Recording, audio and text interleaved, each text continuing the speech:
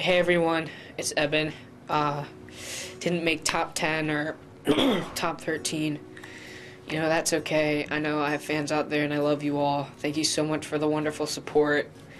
Uh, thank you, uh, judges Randy, Jennifer, and Steven. Thank you guys. Thank you guys so much for everything. Um, you don't understand, you know, being here, what it means to me, and I thank you for letting me have that opportunity.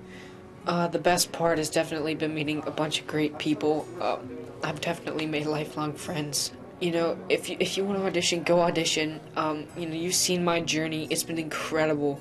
Uh, I'm so thankful for, you know, even getting this far. I'm, I'm 15. Like, my mom tells me I'm only 15. You know, I, I think this is the end of the world, but it's not. It's just the beginning. I want to thank you, all my fans, everyone. I love you all. The support is incredible. If it wasn't for you, you know, I wouldn't be here right now. Um,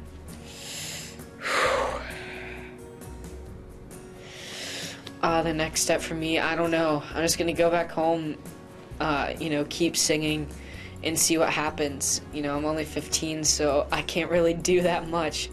But I get to go home and drive. I know that's one thing I get to do. But um, I love you all.